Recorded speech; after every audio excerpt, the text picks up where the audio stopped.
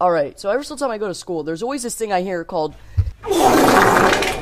And the other thing I hear is. And I'm just wondering why the hell are these kids saying it? So I'm like, there's nothing, no meaning to it. It makes no sense. Like, shut the fuck up, you know, you know what I mean?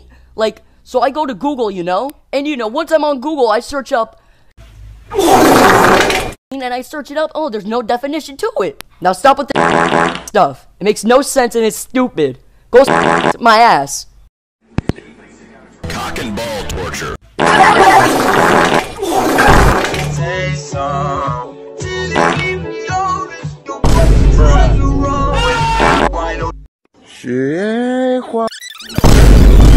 Guacamole nigga penis.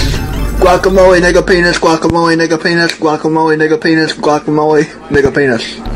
Guacamole nigga penis. Guacamole nigga penis. Guacamole nigga penis. Guacamole nigga penis. Guacamole nigga penis. Guacamole nigga penis.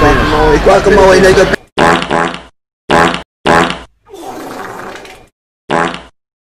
Yo, why you talking? Whoa, whoa, shut the fuck up.